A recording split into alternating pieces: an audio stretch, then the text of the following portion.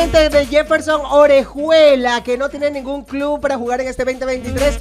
Pero a que no saben compañeras, a que no saben compañeros, porque tiene un nuevo negocio, se va a dedicar al mundo de la gastronomía y es que sí, se va, se puso ya una cevichería, así Qué que va a ¿ah? vender ceviches manavita. ¡Oh! Nos gusta. A propósito, la vimos a Yuret muy contenta disfrutando de su soltería el fin de semana. Dice por acá, concierto. el negocio que se puso Orejuela luego de que ningún equipo le abría las puertas, dice por acá, es de una cevichería.